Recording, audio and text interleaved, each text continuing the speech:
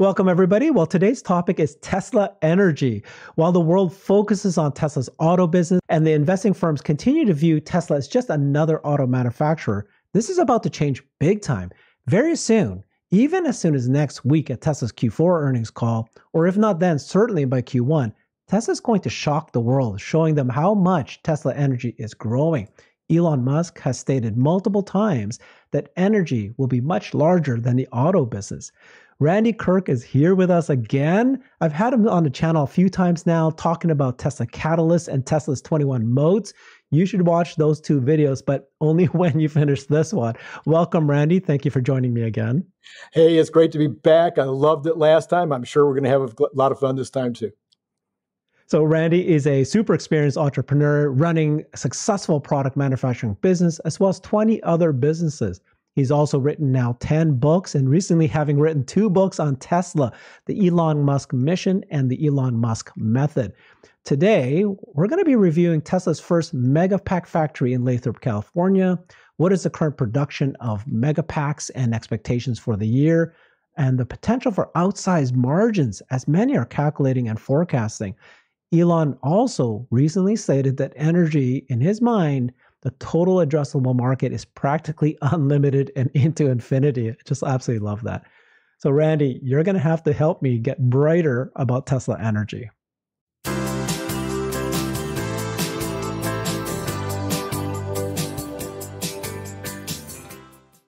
So, Randy, in your latest book, right, the Elon Musk mission, which you just published just in October of last year, there's a whole section that you already had there on Tesla energy and its potential, right? And what I understand was Tesla had a Megapack factory that they in Lathrop, California, that they broke ground on September last year in 2021. And by March, they actually were able to start producing their first batteries. And with just less than a year after they broke ground, it's like almost in full swing already. And you had written all about that. In addition to that, there's this Mark Henry who goes by um, at Zero Sum Game 33 on Twitter, and he's been writing up a whole analysis on Tesla Energy. And what he said was that while in Q3 of 2022, Tesla's energy business maybe makes up about 5% of Tesla's total revenue, at that time, it generated zero profit. But what his research is now showing is that this is about to change. It's going to change big time, and it's much like a sleeping giant. So let's start with Lathrop, California. Can you tell me a bit more about what you know about that Megapack factory? Yeah, so I, I give uh, zero sum thirty, uh, zero sum game thirty three mega props. this is we're all about mega today. yeah. He did some amazing reporting, but the other authors of uh, the Elon Musk mission and I, we broke the story. We broke it back in October before Zero Sum got started. Um, and I have to say that Zero Sum has really straightened me out on a couple of things. And one of those was yeah. the margins, and the other was really where they were in terms of production. So uh, the basic reporting suggests the most recent reporting that I'm seeing suggests that they are at about 25 of these units a day, and they're 2.2 million dollars a piece, roughly, which would give us a, something over $50 million a day coming out of that little factory in Lathrop, mm-hmm. California.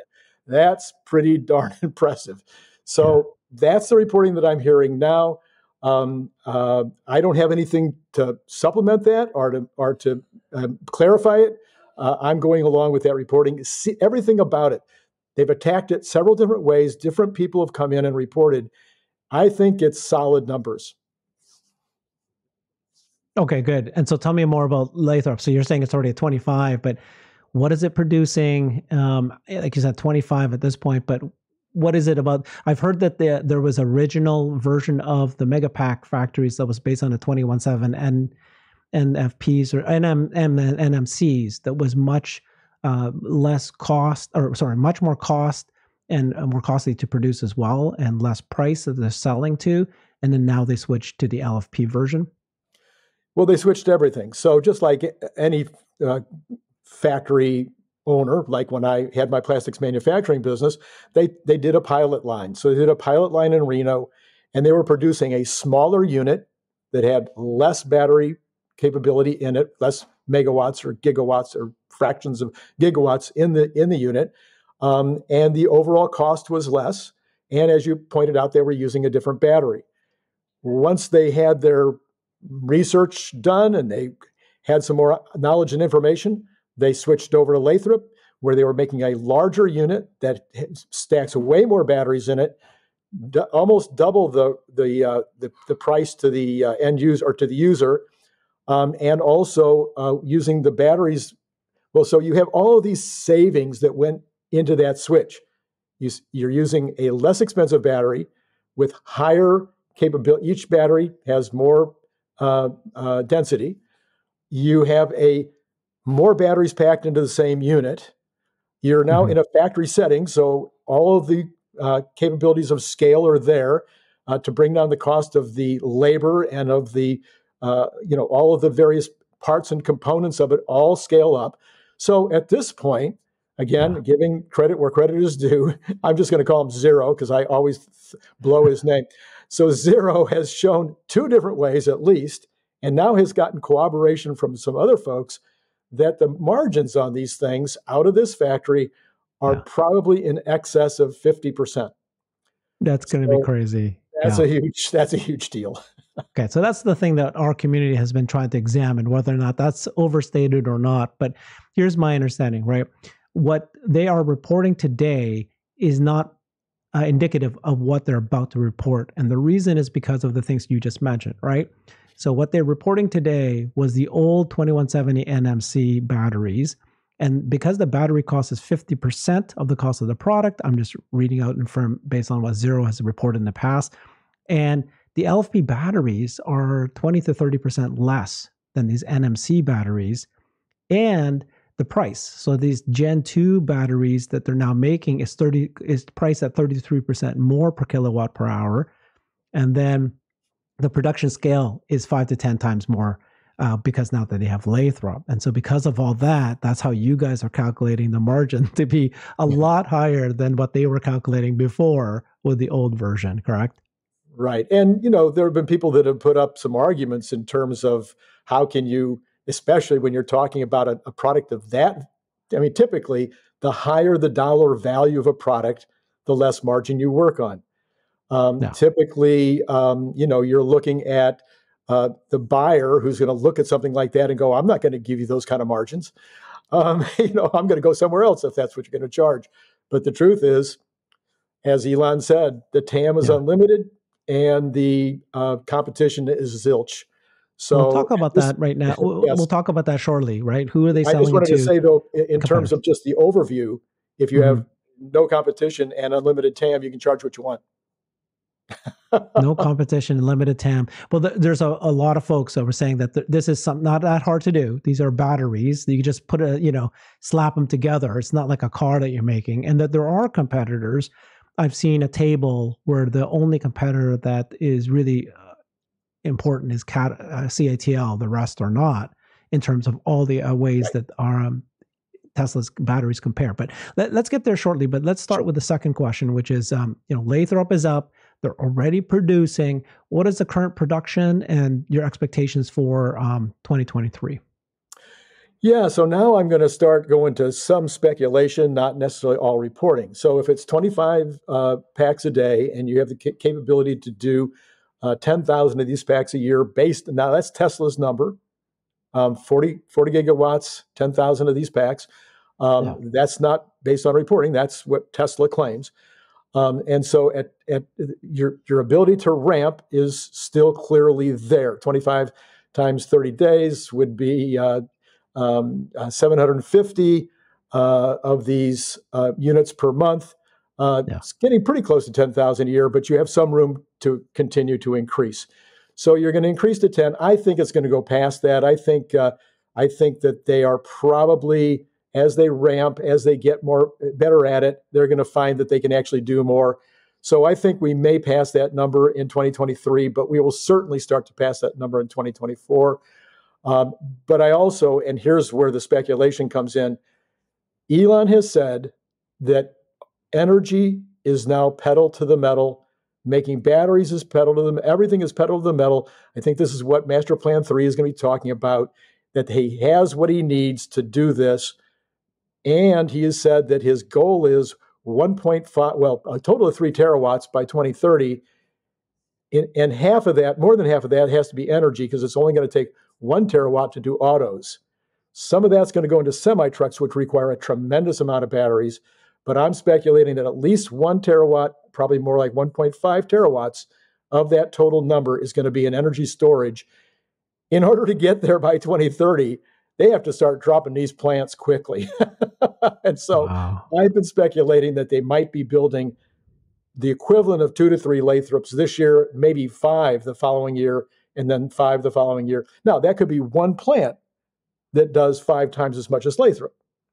But something on that order, they need to multiply the number five times a year for the next five years in order to have any shot at getting to 1.5 terawatts. Okay, so you're you just said some you just said some crazy things here. You just said two to three Lathrop, so two to three mega factories, 2023. You are breaking expecting ground. breaking ground. Yes. That March 1st, when they do Investors Day, and they're going to talk about large scale uh, deployments, you're going to be you're expecting at least two megapack megapack factories being announced. Well, I don't know if they'll announce it that day. I'm saying if you want, I'm just yeah. taking the numbers that have been given us. This yeah, is yeah, this is how I came to the conclusion in the book that was published three months ago, almost three months ago. Just taking the numbers that Elon gives us or that Tesla gives us, you back into it. Okay, you're not going to build 25 plants in in uh, 2029. Okay, you're going to be ramping up between now and then if you're going to be ramping up between now and then, you need to start now. yeah. and you have the capability. This is the other thing. The the product is the factory. The fact, mm. you know, this is what Elon's been talking about for a long time. He's got the prototype. Now to to either expand Lathrop, I don't know if the building can take any expansion, right. Put another one there in Lathrop, which might be the easiest thing to do, or start cookie cuttering them all around the world all around the United States. Those are three potential ways to go. But yes, I would say they need to cut ground on two to three this year, and then five in 24, wow. five and 25, et cetera. Yeah. Okay. Okay. Well, the good news is that it only took one year for this to break ground to actually start producing. And now that they've got their first one down, it should be a lot faster. So, exactly. Okay. Let me ask you about 2023 expectations. And I saw a discrepancy between the numbers you're you're saying and what I saw that zero sum game is reporting. Okay. So zero sum is saying that by the end of 2023, this year. Tesla will have deployed 64 gigawatt per hour of capacity. That's mm-hmm. equivalent to eight time increase. That's already massive of the uh, period ending of la- uh, third quarter of last year. And then he's expecting $16 billion in gross profit that will contribute, um, that's contribute, that's generated by Tesla's existing 16,000 uh, megapack backlog at Lathrop. Okay. And yeah. Okay. So let's let me show you this. Let me share this um, table that he shared. That he he there's a resource that he identified. I didn't type it here where he got this from, but basically 63 gigawatt per hour by the end of 23, and you can see the massive jump from what it was. So this is Lathrop. This is what Lathrop is about to do, and this is how much they're moving. But he's saying 63, and then he shows his profit again at 16 billion dollars. Now you shared me this this table here, and let me kind of like scoot scoot in here. But when I look at your table, you're saying 39 gigawatt power and 11 billion dollars of profit. So can you tell me a little bit of why you think they're different? Yeah, there's a couple of things going on, and, and in fact, Zero has identified this over the course of the last week. One of the things that's going on is the accounting. So when do you account for these products being being uh, um, when, when do you when do you get to put it on the books? so yeah. unlike a car, you finish the car, you sell it to somebody, you get you get the sale. Now there could be a transition. So you you've made the car, it's sitting in the lot, it's sitting on a ship, it's sitting on a train, it gets to the destination, it sits in a showroom. You don't get to count it as a sale until the consumer buys it. Well, you've got a more complicated situation with regard to these energy storage packs because what you have is you're maybe you're selling 50 of these or 100 of these to the customer and the project isn't completed until the project is completed. When do you get to put it on the books? So they might ship, um, you know, uh, ten thousand. They might they might manufacture ten thousand mm-hmm. of these next year, but they won't all be accounted for yet. They will be in various parts along the way in terms of the accounting process. So that is going to skew the the actual recognition of the sales volume as well as the profit uh, of these units into future months. So that's part of the difference between him and me. The other part of the difference is, is that I didn't take into consideration maybe as many units of uh, power walls as he did. I think he's got a lot of power walls in that number. Uh, I did not add as many power walls. So I could be a little, I, I could probably bump my number up a little bit, uh, taking into consideration what that ramp might look like. However, I don't have any information on that ramp. All we have right now is the current, as far as I know, all we have is the current production, roughly current production numbers from a few months ago. Um, and uh, we are not being told anything about expectations going forward as of this minute. Okay. This is the table you shared with me. Is there more commentary you want to add to this and explain to people what we're looking at? No, I think it was really uh, Zero and I are really exactly the same or pretty dang close to the same with regard to cost of goods and profit. So about 25% um, is going to, you know, 20, tw- um, I'm sorry, yeah, 25%. The, the product sells for $500 per, uh, per kilowatt hour so you can just divide the total number of gigawatts sold by by two. You're going to get roughly the, the, the sales volume, and then divide that by two again. You get the profit. So become if you want to use simple math, you want to use back of the napkin. That's a rough way to look at things. Okay, this is good. I love your table. I think that it's um, nicely laid out and pretty clear about the megapack capacity is 40 gigawatt per hour. So when I look at like what the prices are, you kind of start hitting at that and what you think the margins are. Again, this is what Zero is saying. He's saying that, first of all, there's a 1.5 year backlog uh, based on that. yeah, at least Lathrop's mm-hmm. Mm-hmm, Lathrop's uh, capacity of 40 gigawatt per hour, like both you and he are saying. And then he says you can you can buy a single mega pack for 2.1 million dollars or 100 megapacks for $1.8 million each. So volume pricing. There's a maximum of 20% volume discount. And then if you kind of do an estimate of the order mix between single and people that buy 10 or 50 and 100 at a time, his estimate of the backlog is worth $32 billion in revenue.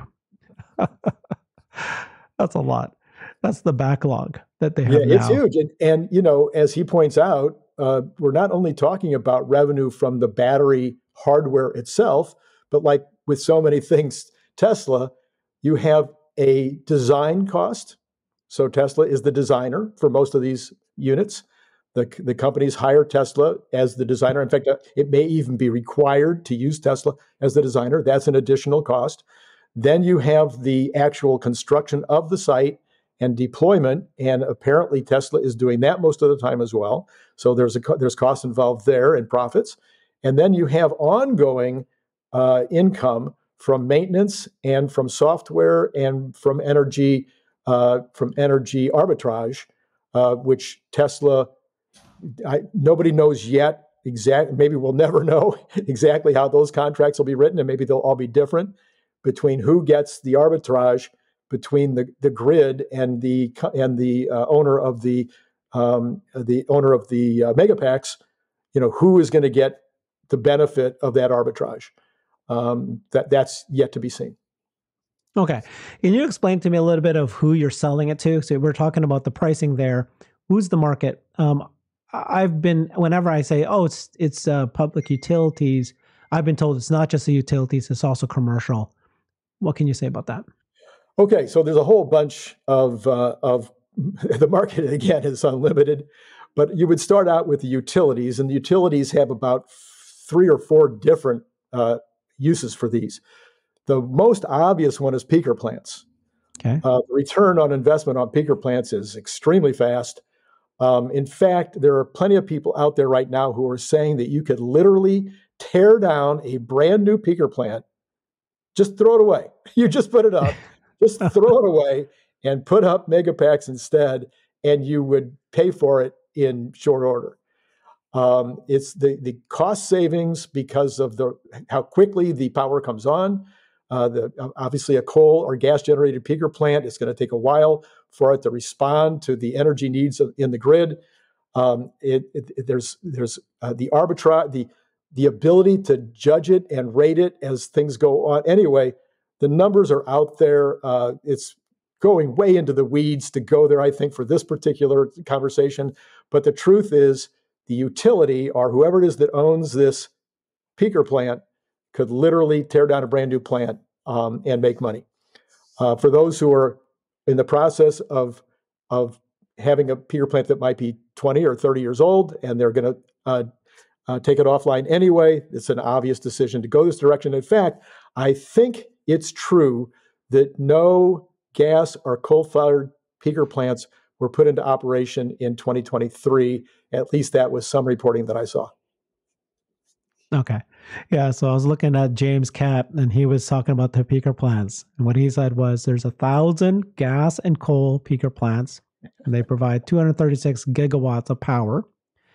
And then if you put that number in context, he says that's 236,000 megapack equivalent and Lathrop is able to do 10,000 per year.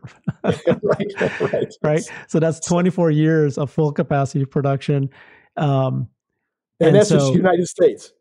That's just the United States, right? And so, uh, so you know, these renewable energy installed capacity is increasing also, and that's where I think the the term infinity, because as you kind of build uh, catch up to what you can replace, then it's continuing to change, and that's where they're saying that it's infinite. Infinite. Um, yeah. So, yeah. so well, the, yeah. the infinity, the infinity goes beyond the fact that you're going to be increasing the amount of power that people use. As power gets cheaper, of course, people will use more power. Just that's just the natural way things go. Plus, it'll eliminate gas and oil and and uh, and coal and dung and charcoal. charcoal meaning right. wood.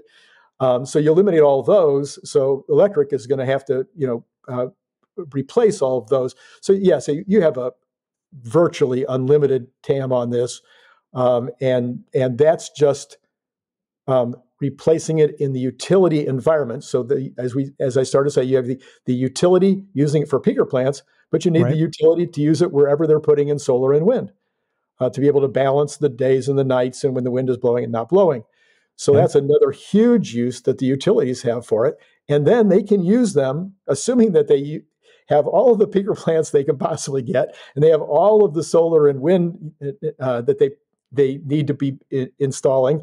If they have a few of these mega packs left over that they could possibly buy, you can use them all by themselves for managing the uh, u- managing the uh, grid uh, in order to uh, better utilize uh, the the electricity that's going through the grid. Okay. In addition to the public utilities, which we uh, kind of understand is recession proof, right? Doesn't mm-hmm. matter if there's a massive recession this year. Mm-hmm. Um, utilities are going to continue to buy and can act on their own without, you know, it's not a consumer thing. But I'm right. also told that this is sold to commercial, which is also recession proof eh, to a certain extent. Tell mm-hmm. me how you see, have you modeled out what commercial would do, or is everything you've done just peaker plants, um, utilities? So I'm not I'm not a modeler. I don't spend hardly any time modeling. I'm a back of the napkin guy, kind of guy. But I had a manufacturing plant. I had a plastics yeah. manufacturing plant that had a $14,000 a month utility bill. okay. and that was 25 years ago. Yeah. It was $14,000 a month. Okay. We contemplated moving our facility from Southern California to Utah just because of the electric bill. Okay. Right. And we, I mean, we went to a lot of trouble to think it through, to look at buildings and the whole nine yards, to uproot our families, to uproot the families of our employees in order to move to Utah because of that electric bill. And we could have, it would have worked. We just decided we didn't want to do it. Now you can do the same thing or better by putting some solar on the roof and putting one of these uh, megapacks in. And and and for a small manufacturer like me, I wouldn't have wanted the, you know, this huge machine that they're uh, selling to the utilities, but they sell a smaller unit as well, or a bundle of power, you know, power walls or whatever. There's a number for everybody. But today, right. no, any manufacturer, any um, large retailer, any mall, anybody yeah. that has large utility bills, the Megapack or some version of energy storage is going to be a part of the deal. Yeah. And they don't have to get the solar, right? They can just get the Megapacks and then kind of like use it, you know, use it energy when it's cheaper at nighttime and then use that in the daytime, right? But buy it at a cheaper time. Is that right? They absolutely can, but I don't know who will in the future. So again, 25 years ago, 25 years ago, I investigated solar for my little company, and it was just not quite no efficient enough. Oh, it would have been fine. It just would have taken too long to pay off. But you know what's happened to the cost of solar panels yeah. in 25 years. So today, it's hard to imagine anybody with a flat roof in manufacturing that isn't going to be interested in switching to solar combined with Megapack. And certainly for malls and, yeah. uh, and dis- distribution centers and things like that, that solar is going to be everywhere. Is this what you mean when you were telling me about the additional revenues and the downstream income? so if you go in, you're going to sell them a mega pack.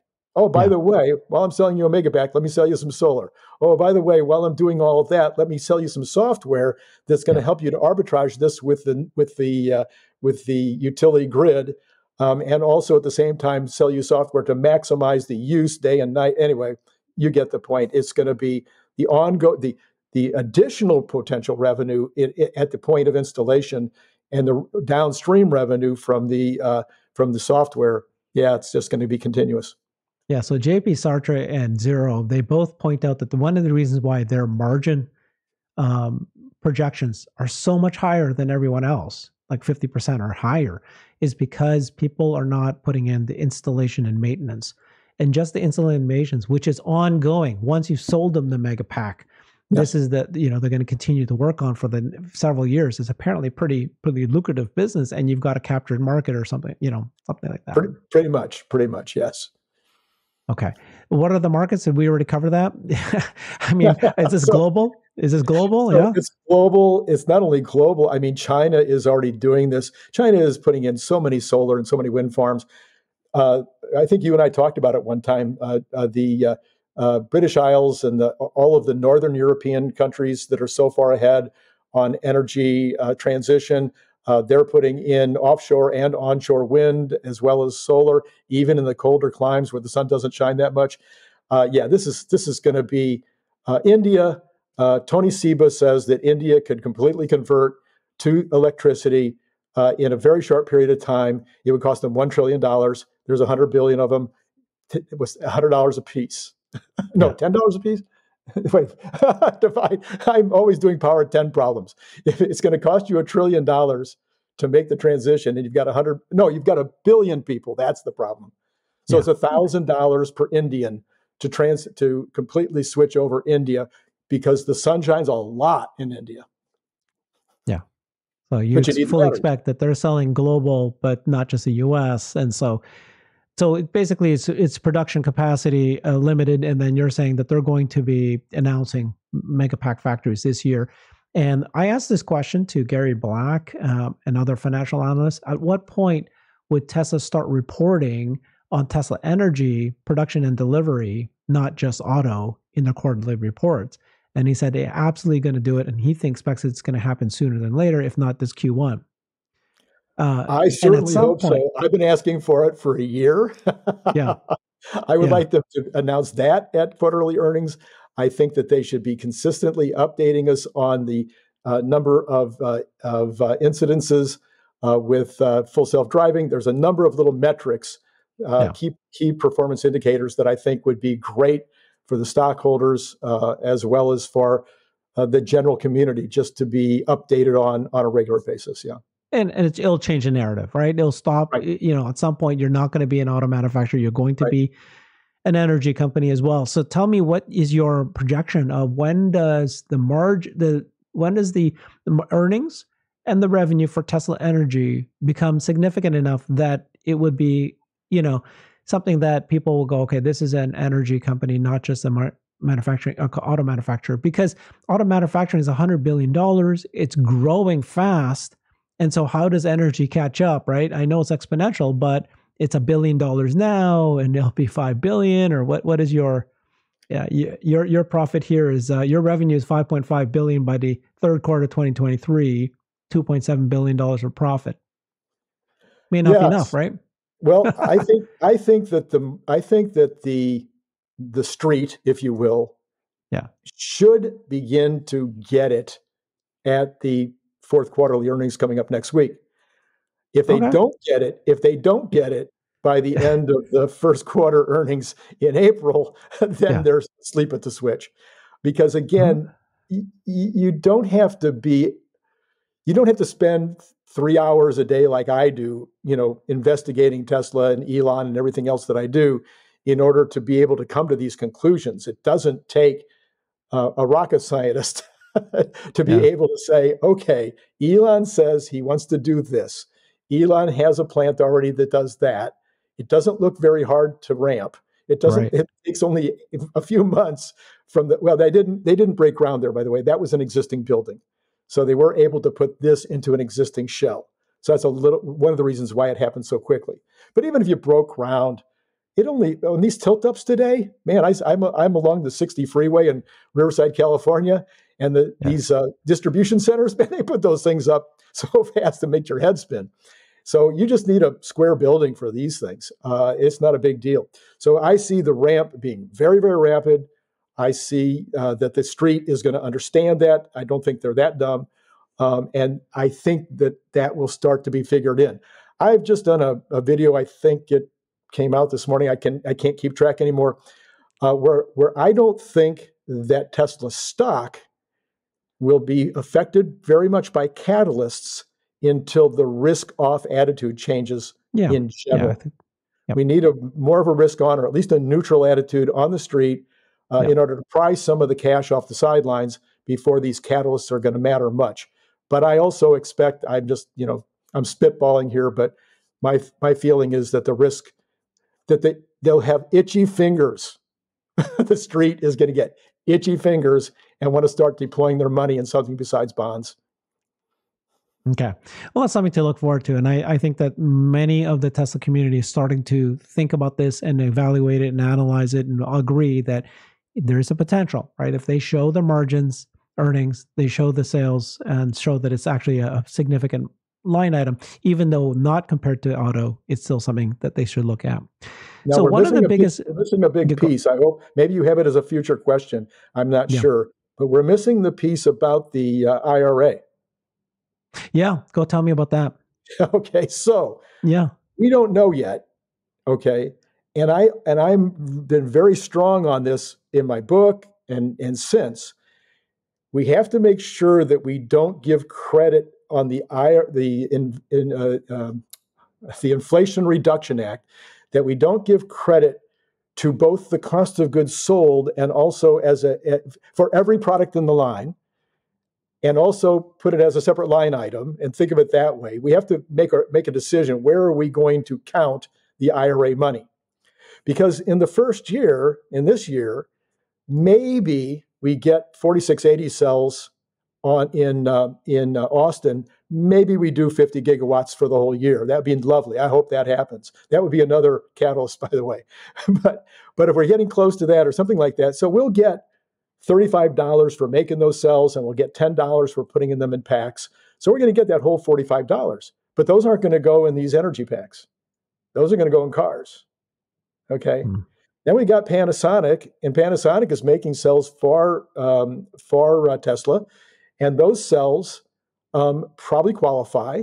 And it looks like uh, contractually that Tesla will get the $35 for those as well. Yep. But is the raw materials in those cells qualify? I'm not sure, but they, I hmm. think they do. So that's another question. But let's say they do. I don't think those are the cells that are going into the energy storage units either. Okay? Because they're not the right chemistry. So I don't I think there's going to be used in cars as well. So the products that are going to go into the energy storage packs, we might be able to get the $10 for putting them in packs, but I'm not 100% sure we're going to get the $35 on those at all this year. Now then, this is where thinking ahead really matters. How many plants are being built in the United States right now to make battery cells? Yeah. And almost all those guys want to sell to Tesla. And Tesla is going to be ramping up their capability. Again, Elon says he wants to be at one terawatt of his own production in the US as quickly as possible. So that $35 and the $10 on every one of those units is going to go right to the bottom line for Tesla. So we, where do we apply it? No. Do we apply it to the storage packs? Because this has been a big part of the story the last few weeks. Do we apply that $45 to these storage packs? Do we no. subtract that from cost of goods? As a manufacturer, I wouldn't have. I would have made the I would have made that item as a separate item, not as part of my cost of goods. Now then, if CATL has a manufacturing plant making cells in the United States that qualify, and I beat up CATL within an inch of their life over that $35 and they decide to split it with a 1750 each.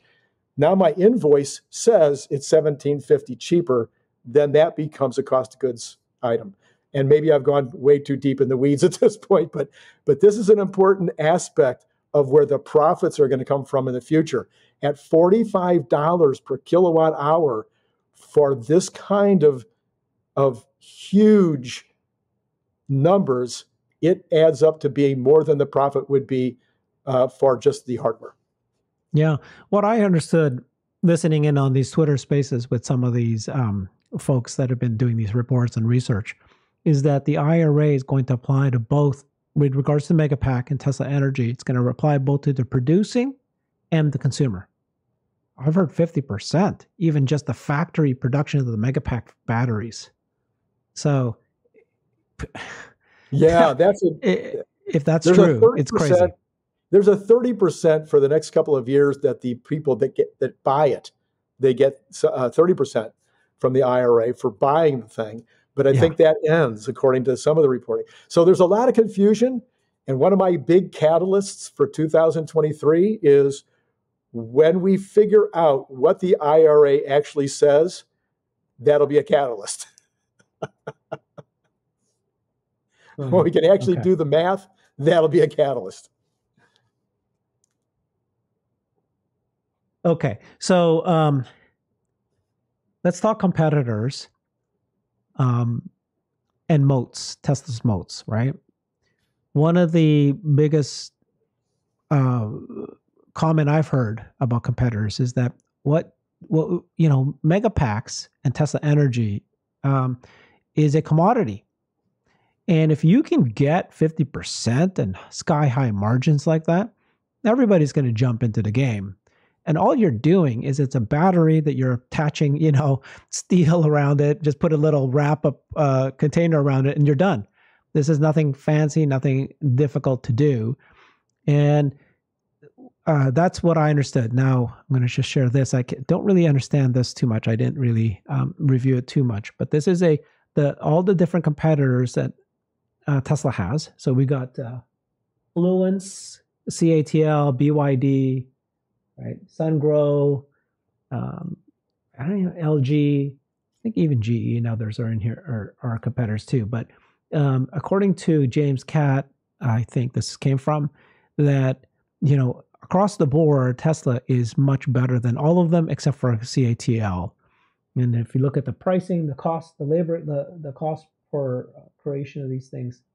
Yeah, I can't really can't really read. Sorry, it's too far too far here. But generally, that's what this table was representing. What's your thoughts on the moats that Tesla have and the competitors? All right, so I'm going to start from a uh, first principles theory here. And first principles tells me that when you have an unlimited market, and the market will be dying for these. They won't be like, oh, please, uh, you know, when you get around to it, could you send your salesman?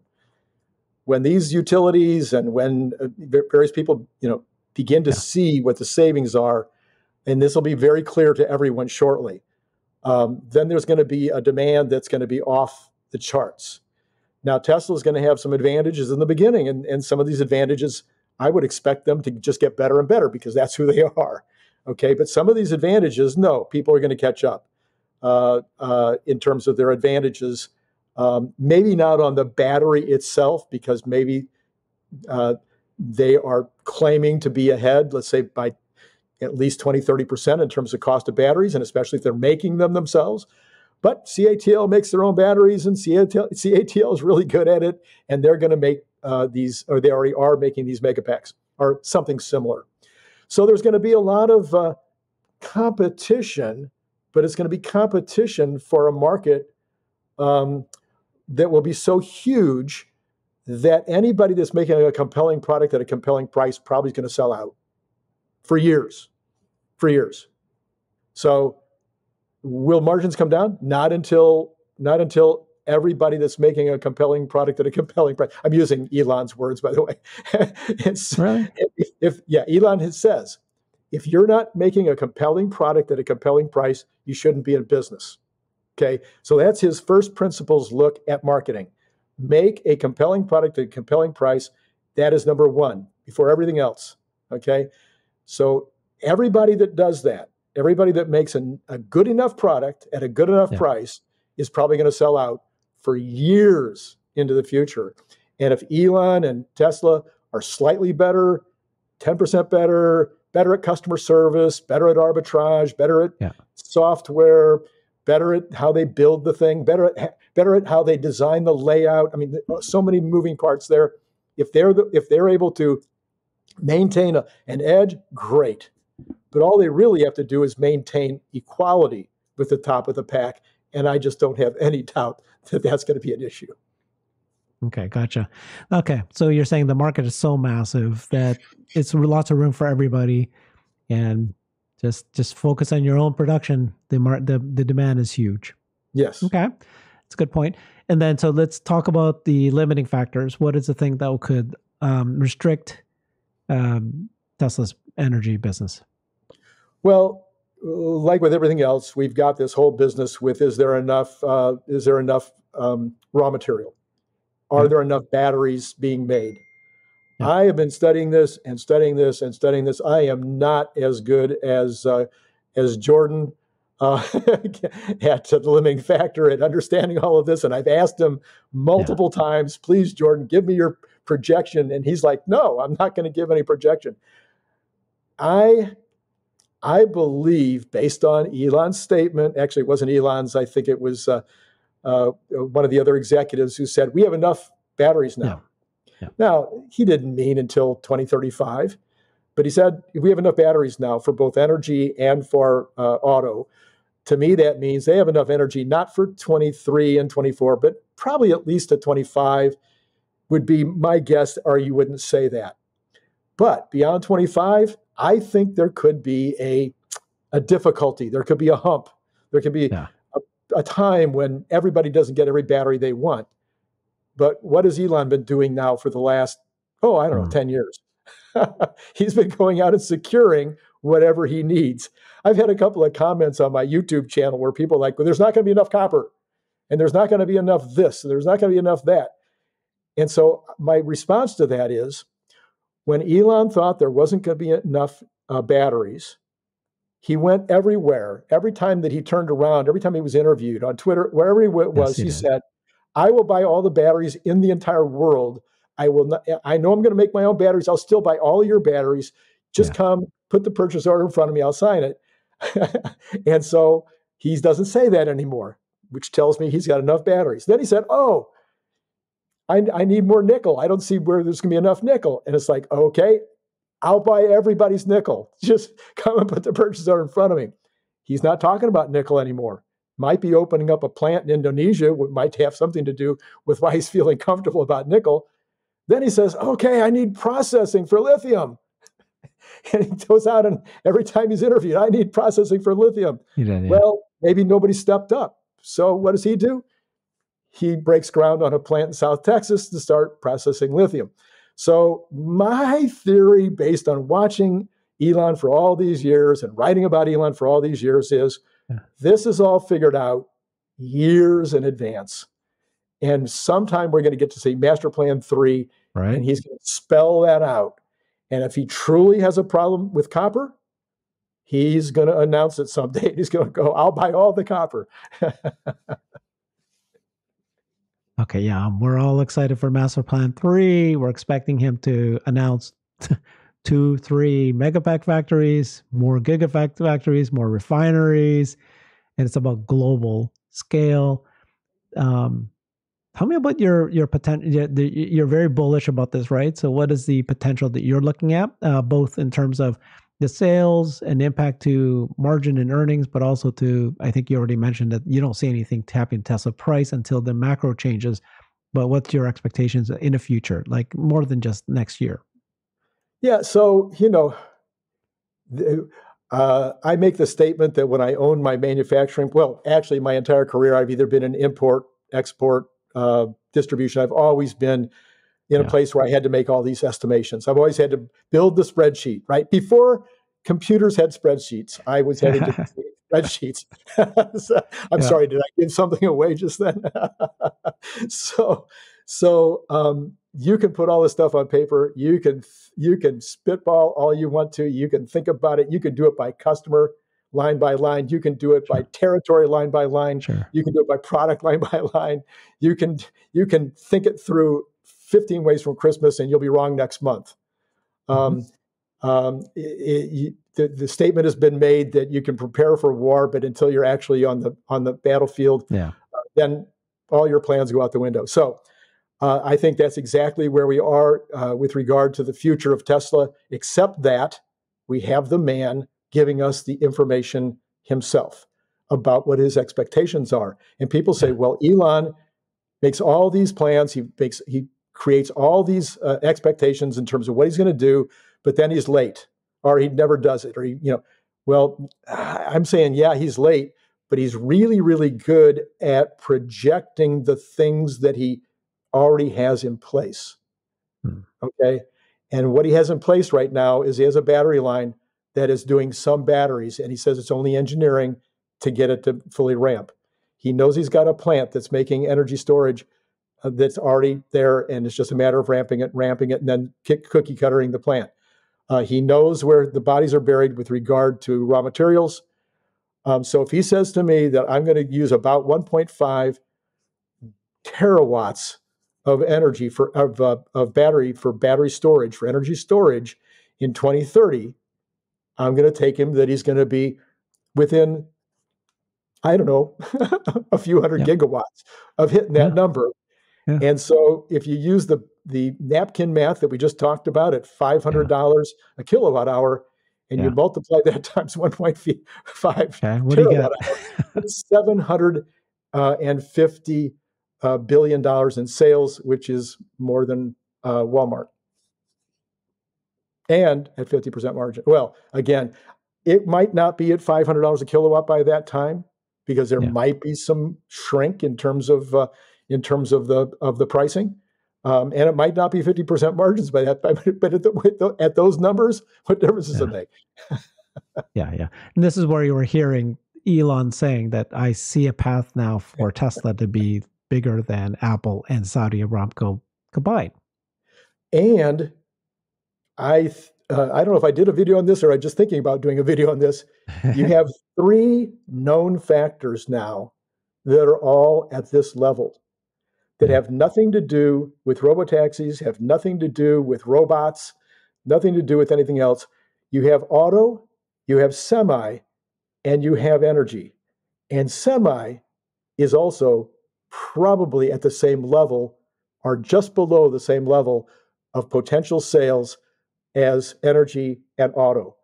So you take the three together, and now you're looking at well over uh, a trillion dollars in sales by the end of the decade, uh, just from those three. And that doesn't count the kinds of things that will be icing on not, not just icing right. on the cake that will blow the world apart in terms yeah, yeah, of yeah. in terms of sales and earnings.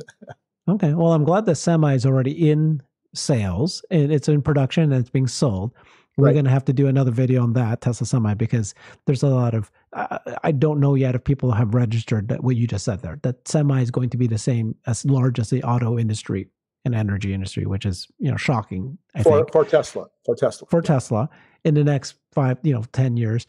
Now, with regards to the market cap for Tesla, the the the estimation that um, Zero Sum put out was that he said for a mega pack model, just the mega pack Tesla Energy, he is estimating uh, 2024 the earnings per share is four dollars and fifty cents, and that's 60 gigawatt hour uh, production.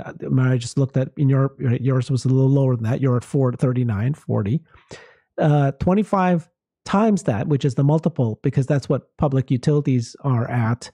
Um, if if you apply a 25 uh, multiple, then it's $116 per share, which is we're pretty well there right now. so just that alone by 2024, just the energy alone should represent what we have now, where we're at now. So that's so good I just if that's I case. Take I, take a, I take a slightly different look. So I'm I'm putting it at three dollars a share uh, for 2024, and I'm putting it at a multiple of at least 35 because mm. we're not talking about a utility. We're talking about a we're talking about a company that's growing 50% a year. And in fact, their that division is going to be yeah. growing at 150 or 200% a year. So you could give it a multiple way over 100 and still be fair. So if we just take a, thir- I get to the same number as him, that it's worth probably $100 easily. Yeah. Um, in this market right now, today. Yeah. and then if you subtract the cash, because you know there's there's 12 billion dollars or I'm sorry was 22 billion dollars sitting in cash with no debt.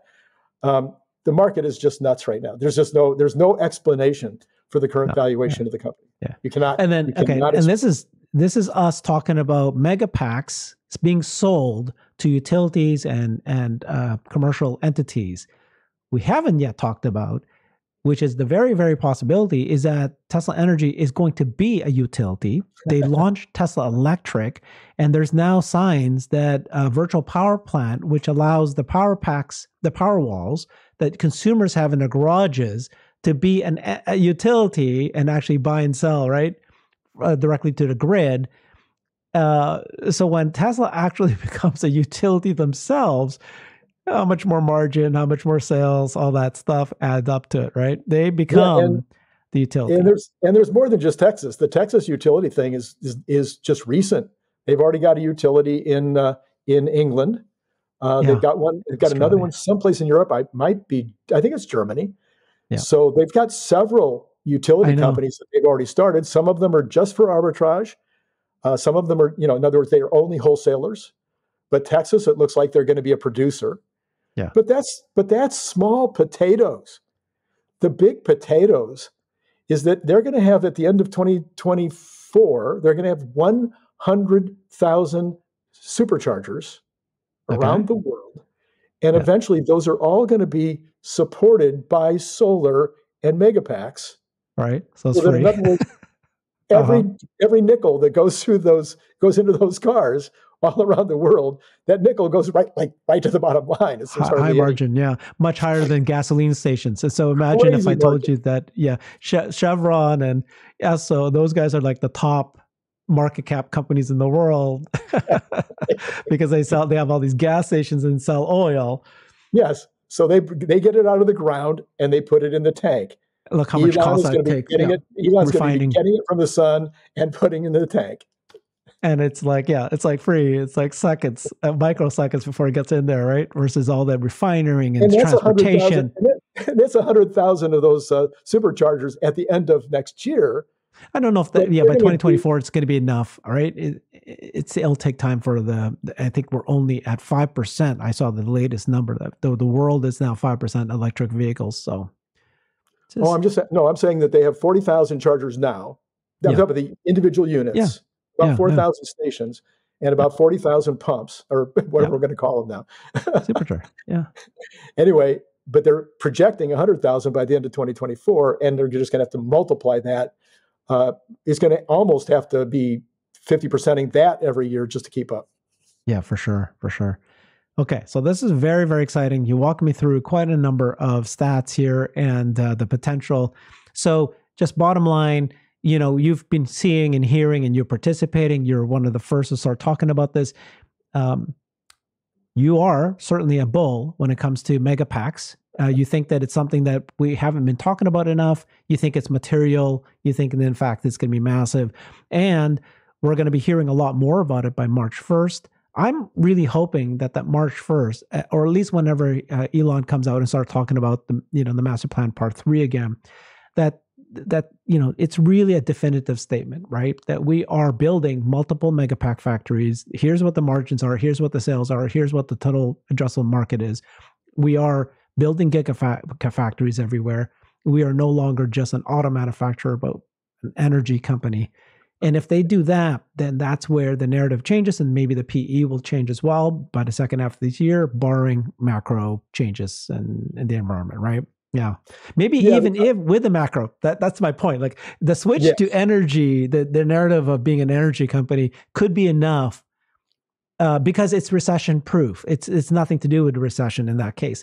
In fact, during a recession, you want to be an electric energy company, right?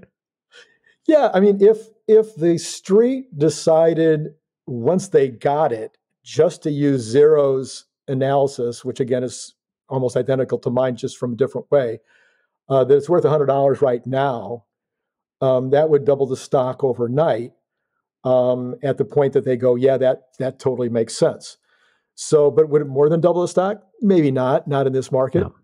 But as the narrative, as the as the risk on comes back, as the money comes off the sidelines right. and the multiples go up, uh, yeah, the the energy storage business probably is worth right now today if it was a separate company, if it was if it was uh, if it was uh, you know right. somebody was analyzing it separate from Tesla, it might be worth a lot of money right now. Yeah. Well, that's actually opposite of what Emmett Pepper said. Emmett Pepper said, well, you know, I, I get, I, I'm all on board. I totally understand the potential for this. But if you did spin off Tesla Energy today, would anybody be valuing this at, um, you know, like a, a mega cap company?